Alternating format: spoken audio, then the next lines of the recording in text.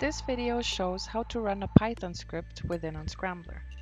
To do this, the script and a Python environment must be defined. This is set up through a configuration. Open the Python scripting menu from Tools, Python Scripting. A list of shortcuts of saved configurations can be accessed from here.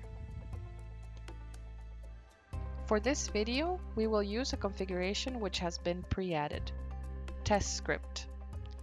This script verifies your Unscrambler Python installation.